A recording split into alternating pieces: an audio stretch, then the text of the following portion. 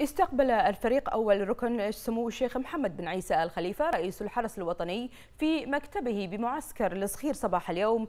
الفريق أول طيار زهير أحمد بابر سيدو رئيس هيئة الأركان للقوات الجوية بجمهورية باكستان الإسلامية الشقيقة والوفد المرافق. ورحب سمو رئيس الحرس الوطني برئيس هيئة الأركان للقوات الجوية بجمهورية باكستان الإسلامية الشقيقة والوفد المرافق له مشيدا بالمستويات المتقدمة التي وصلت إليها العلاقات الثنائية بين البلدين الشقيقين وما أثمر عنها من زيادة مستويات التعاون وتبادل الخبرات بين الجانبين بما ينعكس على رفع القدرات القتالية لدى المؤسستين العسكريتين.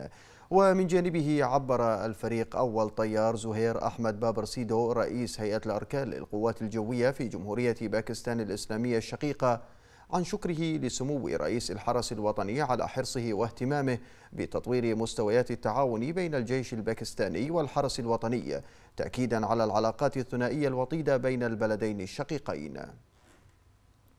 هذا وشهد اللقاء مناقشة عدد من المواضيع ذات الاهتمام المشترك بين الجانبين.